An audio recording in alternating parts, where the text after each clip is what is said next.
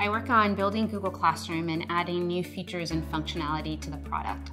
Um, and the way this typically starts is with our users. So we'll talk to teachers and students, or they'll send us feedback about new things that they need or existing things that aren't working for them. Um, so we typically take all this feedback and we translate them into designs. So these are designs of new things we want to build. We'll take those designs back to users and they'll give us feedback again. Um, and then our engineering team starts to build. Um, and throughout the whole process, even as we build, we like to make sure that teachers and students are actually testing it out um, and telling us what's working and what's not working for them.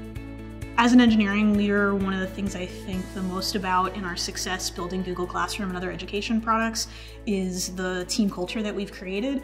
I care a lot about keeping the engineering and cross-functional team happy and motivated and psychologically safe.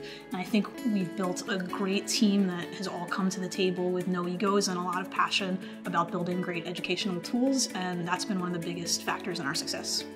Uh, I had the chance to work on a really exciting project called Google Expeditions. It was a 20% project within Google. And Google Expeditions is a virtual reality program to enable teachers to take students on field trips all over the world. And in my role, I worked with outreach and business development with our university and college partners.